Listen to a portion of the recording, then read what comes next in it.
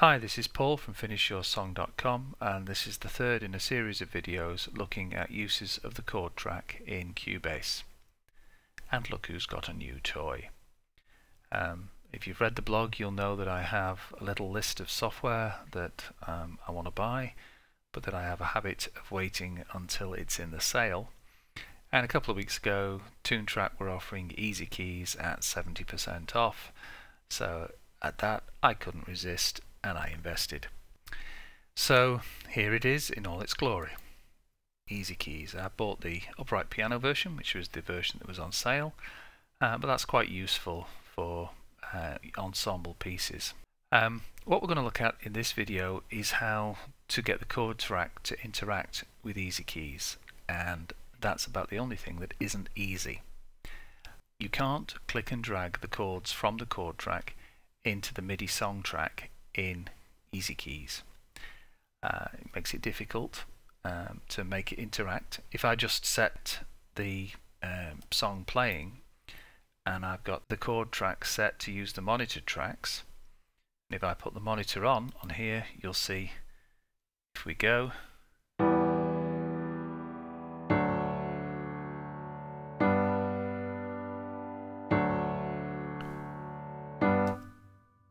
EZ Keys recognizes the chords, but it plays the block chords that are being output by the chord track. Uh, the other thing to notice is that when I set this going, because I've left a little bit of a gap at the beginning of the song here, when I set it going, EZ Keys automatically syncs up. Um, I've got it set to follow host, so it's picking up the tempo um, from the, uh, the song. As you can see, we're 114 beats a minute here. It's also um, synchronized to it. So in that sense, it's very user-friendly. It immediately locks into what you're doing in your project. But um, the other thing that we need to be mindful of is that EZ Keys will try and work in the key that it thinks you're working in, so you do need to reset the key if you're using it in a different key in the chord track um, which we'll do in a moment. So in terms of using EZ Keys with the chord track, there are a number of options. One is to take your MIDI from EZ Keys and drag it unadulterated into your project and then use the chord track to reset the chords. This has its problems and we'll just have a quick look at a couple of what they might be. First thing we'll do is just zoom the song up from full to single bars. The first issue is that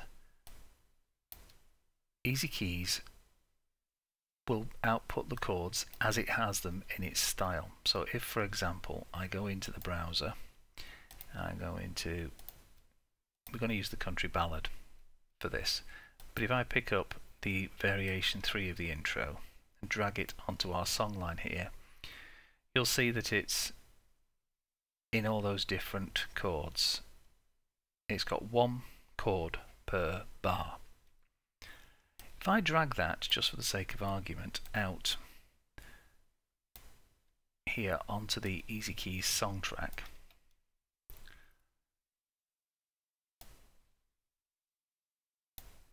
when I play the song, that's still one chord. It's not reflecting the fact that there's two chords in that bar. Um, and with particularly with some of the simpler variations, so if I drag that down for example, you'll see it's one sustained chord or arpeggiated chord in this style. So Cubase won't split the chord when you assign it to the chord track. that what we'll do is we'll drag that out so I can show you that in practice. Now I'll just pull that down onto the MIDI track. So rather than being on the EZ Keys track, which would play that, I'm going to let it play that. So we'll shut that off, mute that, and here's what we've got. Oops,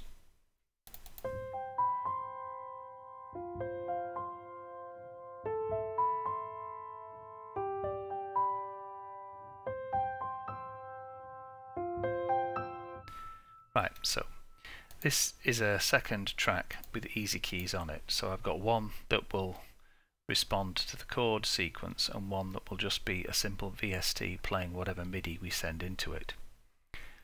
If we now make that follow the chord track and we'll synchronize it, what we get is this.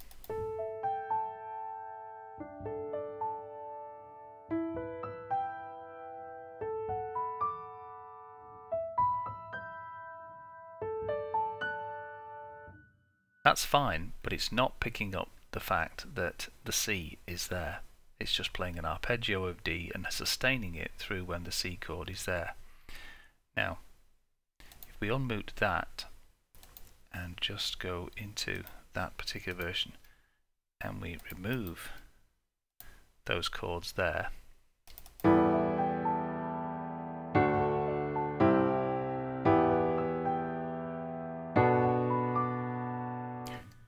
you can hear that the chord sounds but that the MIDI we've extracted isn't reflecting the chord sequence. So that has its problems. So what can we do about that? I'll get rid of that. Well, one thing we can do is reflect our chord track in the chord sequence itself. We can go through and make these chords be the chords that they are up there. But the big problem with that is of course that we're not using the chord track. What we're doing is recreating this chord track in EZ Keys. There's a couple of issues with that. One, it's a lot of effort to do something twice. And secondly, EZ Keys won't accept multiple time signatures.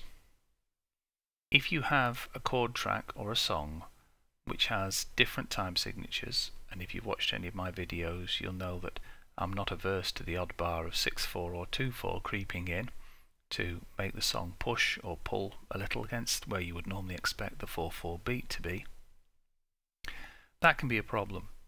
You are going to have to do some MIDI editing there's no doubt about it. If you're going to have different time signatures, how you handle that is up to you. You've got to find your best way forward.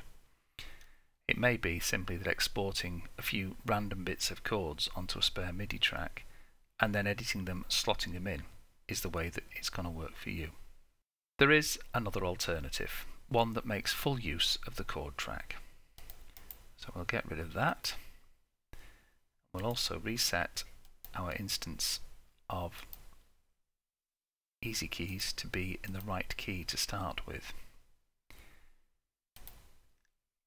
And what we're going to do is we're going to import the chords from the chord track into EZ Keys. Now you can't just click and drag them, but what you can do is grab hold of that and drag it down so that it sits on a MIDI track and you get all the chords as block chords pulled out. Now this trick, or this way of working, is best done when you have an empty project. Do this right at the get-go. Otherwise, when you export the MIDI part, as I'm about to do, um, when you import it into EZ Keys, you have to differentiate which particular MIDI track you want, you want used as the source for your chord conversion. I'm just going to use the bounce MIDI function to take all those individual chord parts and make them into one part. And I'm going to rename that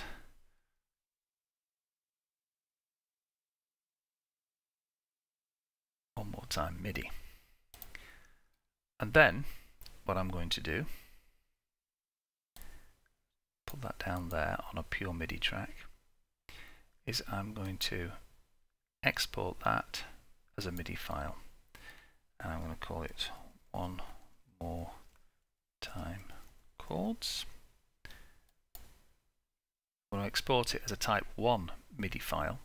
That is, all the uh, tracks will be on a separate track rather than combined onto one single MIDI track. Doesn't really matter when you've only got one MIDI track, but even so, that's what I'm going to do. That's all the defaults.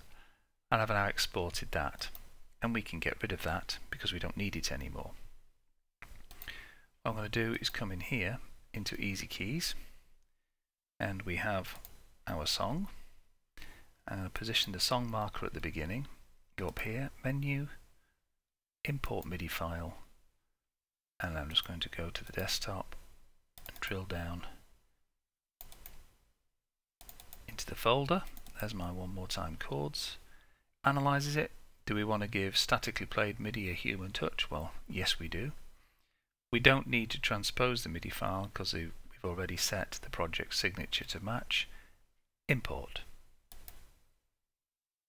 And there we have it. There's our song imported with all the chords.